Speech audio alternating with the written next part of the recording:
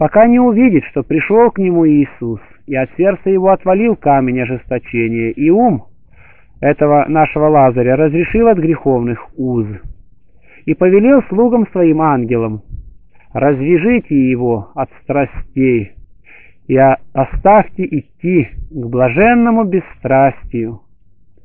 В противном случае нет ему пользы. Если желаем выйти из Египта, бежать от фараона, то и нам, без сомнения, нужен некий Моисей, ходатай перед Богом и по Боге, который бы, упражняясь и в деятельной, и созерцательной жизни, воздевал за нас руки к Богу, чтобы путеводимые им пришли греховное море и обратили в бегство страстного Амалика. Поэтому обманулись все те, которые, предавая себя Богу, подумали, что не имеют они нужды ни в каком руководителе. Вышедшие из Египта имели вождем своим Моисея, обижавшие из Содома ангела. И одни, подобно врачуемым от душевных страстей, попечительностью врачей, это выходящие из Египта. Другие же, желающим совлечься нечистоты немощного тела, почему и нужны им в помощники ангел, или, по крайней мере, скажу так, равноангельный. Смотря по загноению наших язв, потребен и врач весьма искусный. Вознамерившиеся с телом восходить на небо, подлинно имеет нужду в усилии и в непрестанных скорбях, особенно же при самом начале отречения – пока сластолюбивый наш нрав и бесчувственное сердце не доведены еще непрестанными слезами до боголюбия и непорочности. Великого, подлинно великого стоит это труда и многих невидимых огорчений, особливо для нас, живущих нерадиво, пока ум свой этого плотоядного и привыкшего по-пустому лаять пса простотою, глубокой негневливостью и рачительностью не сделаем любителям непорочности и осторожности. Впрочем, и мы, преданные страстям и немощные, с несомненной верой благодушно представим десною своей рукой и исповедуем Христу и немощь нашу и душевное бессилие, и непременно сподобимся Его помощи, даже сверх нашего достоинства, если только непрестанно будем не сходить во глубину смиренно-мудрия все приступающие к этому доброму подвигу, подвигу тяжкому, затруднительному, а вместе и легкому, да знают, что они решаются вринуться в огонь, если хотят, чтобы селился в них огонь невещественный.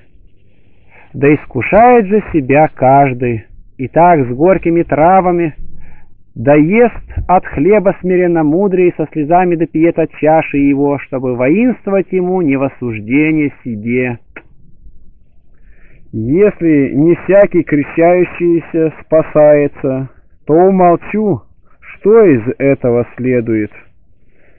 10. Приступающие к этому подвигу, чтобы положить доброе основание, должны всего отречься, все пренебречь, всему посмеяться, все отвергнуть. Хорошо же тройное и трехстопное основание, незлобие, пост и целомудрие. Все младенчествующие о Христе пусть начинают с этого, взяв пример естественных младенцев, ибо не найдешь в них никогда ни злобы, ни притворства. Нет у них ни алчности ненасытной, ни чрева, ничем не удовлетворяющегося, ни тела, разжигаемого похотью. Разве когда с умножением питания возрастут уже, тогда и они начинают ощущать это разжение. Ненавистное и опасное подлинно дело – борцу расслабевать при самом вступлении в борьбу и тем всякому давать знать о будущем своем поражении. Твердое начало, без сомнения, будет нам полезно и при последующем за ним ослаблении. Душа мужественная и потом ослабевшая, воспоминанием прежнего усердия уязвляется как бы отцами, и иные нередко окрылялись этим – когда душа, изменив сама себе, утратит блаженную и вожделенную горячность, тогда пусть рачительно разыщет, по какой причине лишилась ее, и против этой причины вооружится всем своим желанием и усердием. Потому что гора... горячность возвратить можно не иными вратами, а теми же, которыми она удалилась. Подчинивший себя из страха подобен горящему фимиаму, который вначале издавал благоухание, а впоследствии разрешился дымом. Подчинившийся из награды подобен мельничному жорнову, который всегда одинаково движется. А кто стал отшельником из любви к Богу, тот в самом начале приобрел уже огонь, и как огонь, брошенный в дрова, вскоре сильнейший воспламенит пожар. Иные поверх камней подстраивают кирпичами, другие ставят столбы поверх земли. Иные, пройдя небольшое расстояние и разгорячив жилы и составы, пошли скорее. Кто может разуметь, тот да разумеет это иносказательное слово. 15. Как призванные Богом и Царем будем усердно совершать свое течение, что по кратковременности жизни не оказаться нам бесплодными в день смерти и не умереть от голода. Будем благоугождать Господу, как воины угождают царю, ибо по вступлении в воинскую службу требуется от нас служение во всем исправное. Будем бояться Господа не меньше, чем боимся зверей. Ибо видел я, что пошедшие на хищение, хотя не убоялись Бога, однако же, услышав на месте лай псов, тотчас возвращались назад. И чего не сделал Божий страх, то произвел страх зверей. Будем любить Господа, как чтим из любви друзей. Ибо видел я нередко, что иные оскорбили Бога, и немало не имели о том печали. И видел также, что те же самые люди, огорчив какой-нибудь малостью любимых ими, и сами лично через друзей, не щадя даров, употребляли все способы и средства, изъявляли всю скорбь, все раскаяние, чтобы только прийти в прежнюю любовь. В самом начале отречения от мира упражняемся мы в добродетелях, конечно, с трудом и огорчением, но преуспев в них, не чувствуем уже печали или чувствуем малую печаль. А как скоро мертвенное наше мудрование пожерто и преобладается ревностью, упражняемся в них со всей радостью и старанием, с любовью и с божественной пламенностью. Сколько достойны похвалы те, которые с самого начала и вскоре исполняют заповеди со всей радостью и с усердием. Столько жалки те, которые давно уже в подвиге, и хотя следуют заповедям, однако еще с трудом. Не будем гнушаться отречением или осуждать то, когда человек вынужден к отречению обстоятельствами. Случалось ведь, что иные бегали царя и поневоле приходили к нему, встречали пришедшего царя, а потом, невольно следуя за ним, входили в его дворец, и там вечеряли с ним. Случалось видеть, что семя нечаянно падало на землю и приносило много света и обильный плод. Как еще случалось видеть, что иной по другой какой-либо потребности приходил во врачебницу, но обходительница врача одержала верх и взяла над ним волю, и освободился он от мрака, лежавшего у него на очах. И невольное в иных бывало тверже и надежнее добровольного. Никто, ссылаясь на тяжести множества грехов, да не отзывается о себе, что недостоин он монашеского обета, и да не думает унижать себя за сластолюбие разумея вины о грехах. Где велико загниение, там потребно и врачество сильное, чтобы вытянуть всю нечистоту. Здоровые не ходят во врачебницу. 20. Если земной царь позовет и изъявит волю, чтобы служили мы перед лицом его, не ждем другого приказа, не отговариваемся, но оставив все с готовностью идем к нему. Будем же внимательны к себе, чтобы когда Царь царствующих и Господь господствующих и Бог богов призовет нас в небесный сей чин, не отказаться нам по лености и нерадению, и не сделаться безответными на великом суде. И связанному житейскими делами и железными заботами есть возможность ходить, впрочем, с трудом. Ибо и окованные по ногам железом ходят нередко, но часто спотыкаются и оттого получают раны. Не женатый, связанный в мире одними житейскими делами, подобен человеку, у которого на руках только оковы. И потому, когда пожелает приступить к монашеской жизни, нет у него препятствия. А женившийся подобен человеку, у которого и на руках, и на ногах наложены узы. Случалось слышать, что иные, живя в миру, нерадиво. Говорили мне, имея у себя жену и обязавшись общественными заботами, можно ли проходить монашеское житие? И отвечал я им, что только можете делать доброго, делайте, никого не злословьте, ни у кого не крадите, ни на кого не лгите, ни перед кем не превозноситесь, ни к кому не имейте ненависти, не уклоняйтесь от церковных собраний, будьте сострадательны к нуждающимся, никого не соблазняйте, к чужой доле не приближайтесь и будьте довольны оброками жен ваших. Если так станете поступать, то недалеко будете от Царства Небесного. С радостью и страхом приступим к доброму подвигу, не боясь врагов наших. Они смотрят в лицо душе нашей, хотя сами и невидимы ежели заметят, что изменилось оно от боязни. С большим ожесточением вооружаются на нас. Ибо разумеют хитрые, что мы устрашились. Поэтому благодушно вооружимся на них.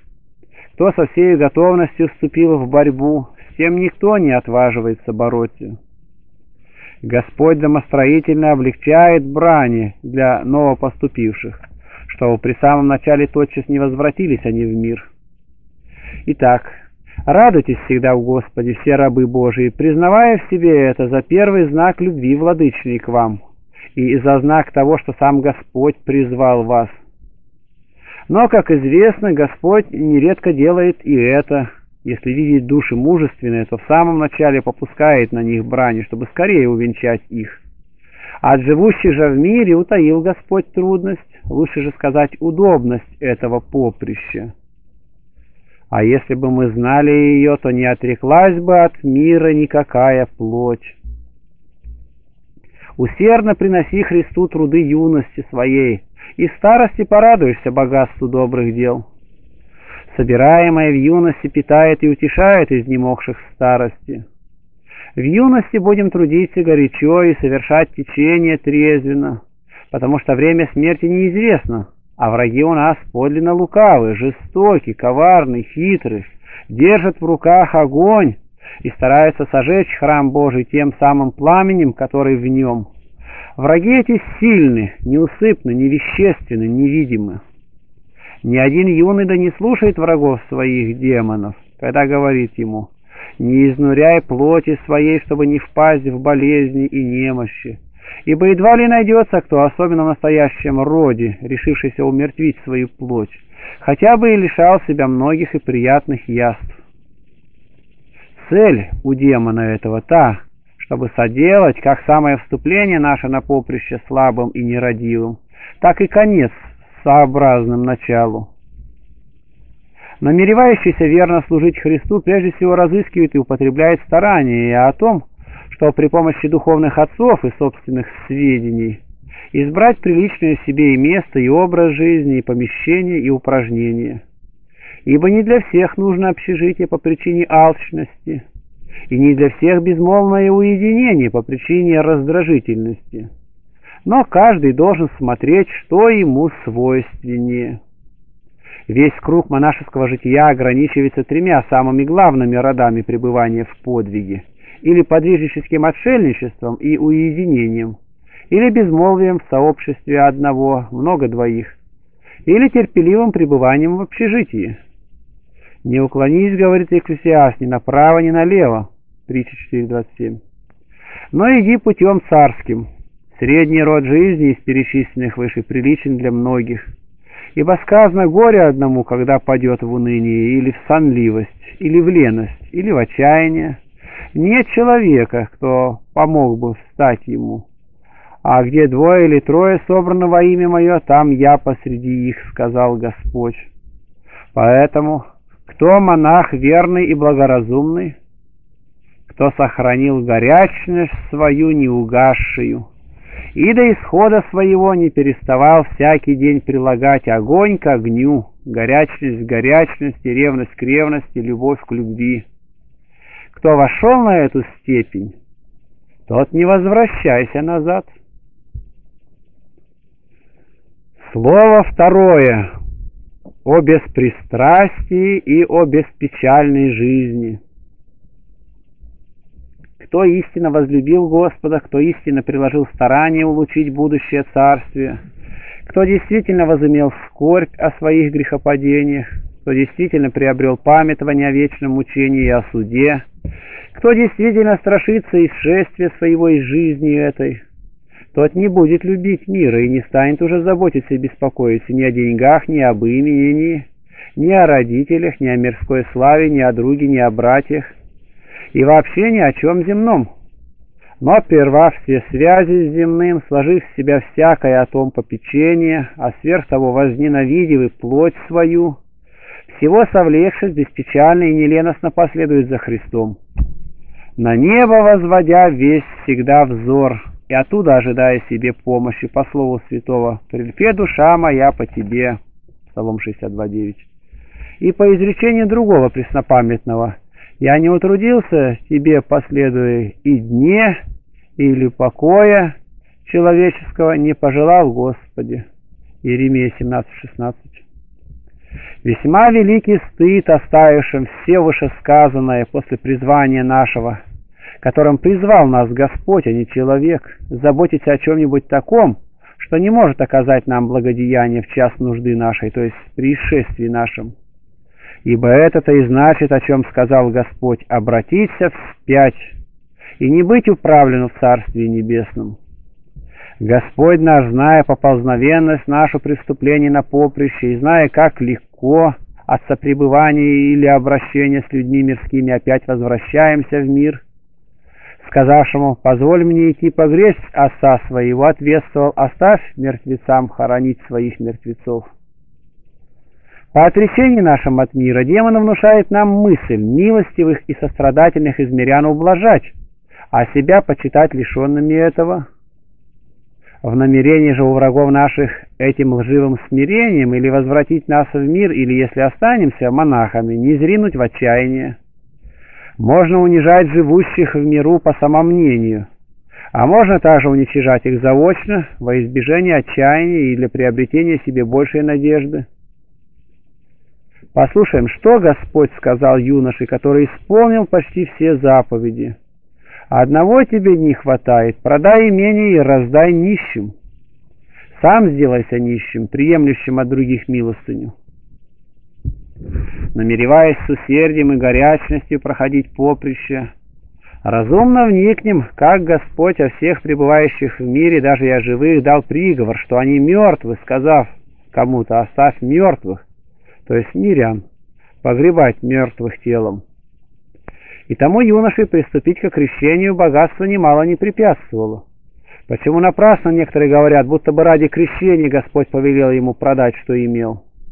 Такого удостоверения достаточно да для нас к совершенному уверению, что весьма велика слава нашего обета.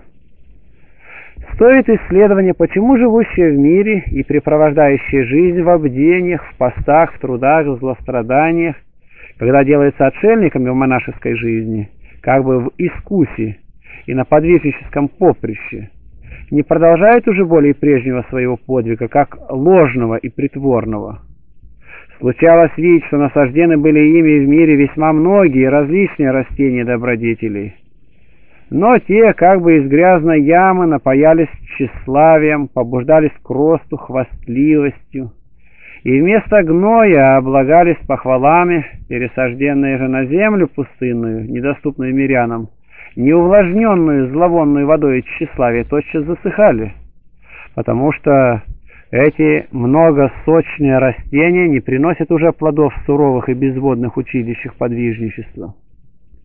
Кто возненавидел мир, тот избег печали. А кто имеет пристрастие к чему-либо видимому, тот не избавился еще от печали. Ибо как не опечалиться ему, лишившись любимого?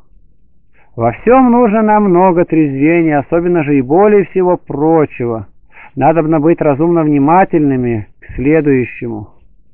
Видели мы, что многие в мире среди попечений, забот, занятий телесных, бдений – избегали неистовых движений в теле своем.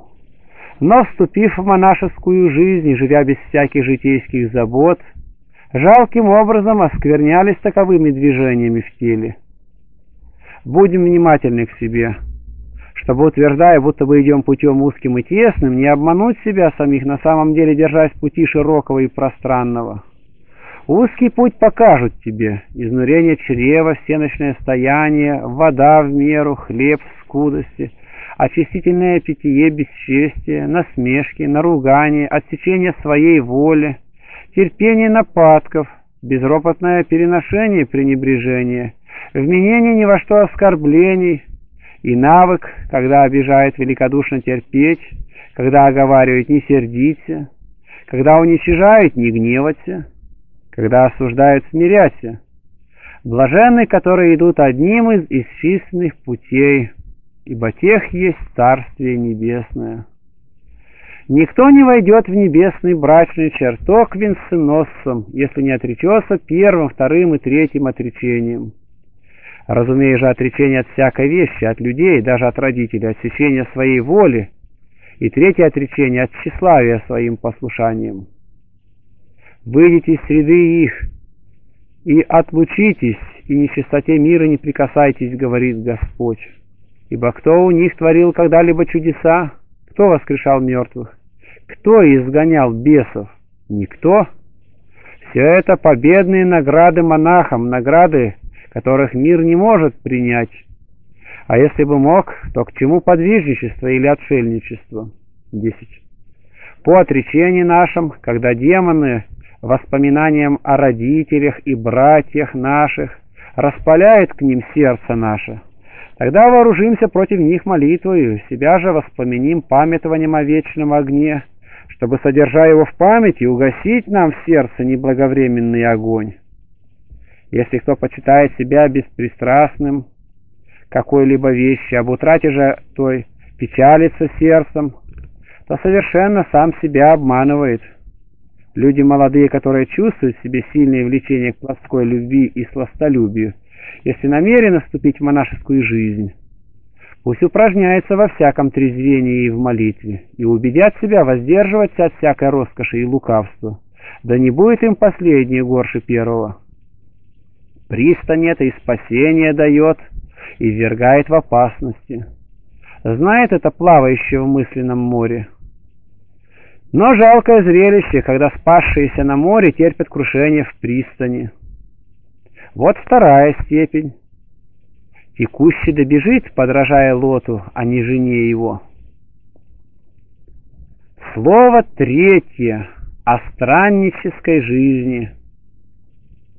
Странничество есть невозвратное оставление всего того, что в Отечестве противодействует нам к достижению цели благочестия. Странничество есть недерзновенный нрав, неведомая мудрость, не выказывающая себя благоразумие, сокровенная жизнь, незримая цель, неявный помысл, желание унижения, вожделение стеснения, начало божественной любви, обилие любви, отречение от тщеславия, глубина молчания – возлюбивших Господа вначале непрестанно и сильно, как бы разжигая свыше сходящим огнем, тревожит и этот помысл, то есть удаление от своих, любителями такового совершенства, предприемлемое с целью уничиженного и скорбного жития. Но сколько это велико и достохвально, столько же требует и великой рассудительности. Ибо не всякое странничество, доведенное до крайней степени, бывает хорошо. Если всякий пророк в своем Отечестве чести не имеет, как говорит Господь, то будем остерегаться, чтобы странничество не было у нас началом тщеславия. Ибо странничество есть отлучение себя от всего, с целью сделать помысл свой неотлучным от Бога. Странничество любит и производит ненасытимый плач. Странник избегает всякой связи с своими и чужими. Поспешая к жизни уединенной или страннической, не дожидайся миролюбцев, потому что там приходит стать внезапно. Многие, покусившись вместе с собой спасти беспечных и ленивых, сами с ними погибли от того, что огонь с течением времени угас. Как скоро возгорелся в тебе огонь, беги с ним. Ибо не знаешь, когда он угаснет и оставит тебя во тьме. Не от всех нас требуется спасать других. Божественный апостол говорит, «Тем же каждый из нас, братья, о себе даст слово Богу». Еще говорит, «Научая иного, себя ли не учишь?» Он как бы так сказал, «Должны ли мы учить других? Не знаю, а себя самих все непременно». Ведя странническую жизнь, берегись кружащегося и сластолюбивого демона, потому что странничество дает ему повод. Прекрасно без пристрастия, матерь же его есть странническая жизнь. Сделавшийся странником ради Господа, да не имеет уже никаких связей, чтобы не оказалось, что скитается он в угождение страстям. Стал ты странником в мире, не прикасайся более к миру потому что страсти любят возвращаться назад. Ева невольно идет в изгнание из рая, а монах добровольно из отечества своего. Первая опять пожелала бы древо прислушания, а последний непременно подвергся бы опасности от сродников по плоти. Как бича бега тех мест, где подвергался ты грехопадением. Если нет плода перед глазами, то не всегда и желаем его. Десять. Да не будет сокрыта от тебя эта уловка и хитрость воров. Внушает нам не разлучаться с мирскими, говоря, что великую получим награду, если, видя женский пол, будем воздерживаться. Таким внушением не должно верить, а скорее делать противное этому. Когда, прожив год или несколько лет в разлучении со своими домашними, приобретем сколько-нибудь благоговения или сокрушения или воздержания – Тогда восстают уже в нас суетные помыслы и склоняют нас опять идти в Отечество свое, к назиданию, как говорят они многих, для того, чтобы стать примером и принести пользу видевшим прежние наши беспорядочные дела. А если обладаем и даром слова, и дорогим ведением, то влагает в нас мысль в самом миру быть спасителями души, учителями, что прекрасно собранное в пристани – худо расточить в море. Постараемся подражать не жене Лотовой, а самому Лоту. Душа, обратившись туда, откуда удалилась, как соль, потеряет силу и сделается уже неподвижную.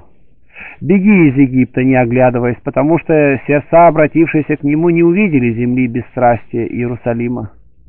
Тем, которые вначале по младенческой простоте оставили своих и совершенно очистились, можно и не без пользы возвратиться на прежнее место, даже, может быть, и с намерением по спасении своем спасти и других, хотя и сам Боговидец Моисей, Богом посланный для спасения единоплеменного рода, много имел опасностей в Египте, то есть омрачений в мире. Лучше огорчить родителей, нежели Господа, потому что Господь и создал нас, и спас – а родители любимых ими нередко губили и предавали на мучения. Странник тот, кто, как иноязычный среди иноязычного народа, живет, углубляясь сам в себя. Не по ненависти расстаемся мы с своими или с местом, да не будет этого, но избегая вреда, какой бывает нам от них, как во всем ином, так и в этом, наставником добру для нас Христос ибо видно, что и он часто оставлял родителей своих по плоти, и, слыша от иных, «Мать твоя и братья твои ищут тебя». Благий Господь наш и Учитель тотчас показал пример бесстрастной ненависти, сказав, «Мать моя и братья мои суть, творящие волю Отца моего Небесного». Отцом тебе пусть будет, кто может и хочет потрудиться с тобой над бременем грехов, а матерью сокрушение – которая может омыть тебя от скверны, и братом сотрудник и сподвижник в стремлении к горнему. Приобрети неразлучную сожительницу память смертную, любыми же чадами да будут у тебя сердечные воздыхания, в рабы приобрети тело свое, а в друзья святые силы, которые во время исхода твоего могут оказать тебе пользу, если будут друзьями твоими. Сей род ищущих Господа. Любовью к Богу угошается любовь к родителям.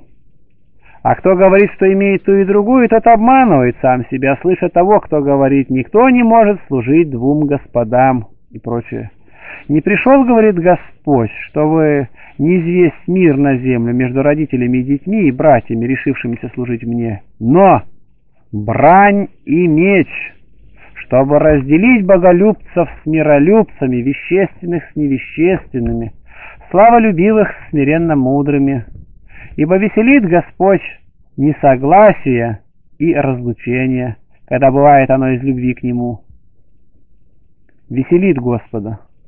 Смотри, берегись, чтобы когда все у тебя оказывается погруженным в водах, из пристрастия к любимым тобой домашним, и тебе не подвергнуться потопу соревнования. Не растрагивайся слезами родителей и друзей, иначе вечно будешь плакать. Когда свои окружат тебя как пчелы, или лучше сказать, как осы, проливая о тебе слезы, тогда немедленно немало неуклонно устреми душевное око свое на смерть и дела свои, чтобы скорбь отразить тебе скорбью. Свои или справедливые не свои нам льстиво обещают сделать все угодное, а цель у них та, чтобы воспрепятствовать прекрасному нашему течению и потом привлечь уже нас через это к своей цели. Для отшельничества своего надобно нам выбирать такие места, где менее случаев к утешению и тщеславию, а более к смирению. Иначе же и в отшельничество уносим с собой страсти свои. Скрывай свое благородство и не выставляй на показ своей знатности, чтобы не оказаться тебе иным по телу и иным по делам. 20. Никто не предавал себя в такой мере странничеству, как тот великий патриарх, которому было сказано «Выйди из земли твоей, от рода твоего и от дома отца твоего». И притом велено идти ему в землю иноязычную и чуждую. Бытие 12.1. Если бы Господь и много прославил кого, ведущего странническую жизнь, по примеру этого великого патриарха, то хотя слава эта и Бога данная, однако же прекрасно отклонять ее от себя щитом смирения. Когда демоны или люди хвалят нас за странничество, как за великую заслугу, тогда помыслим о том, кто ради нас совершил странствие с неба на землю,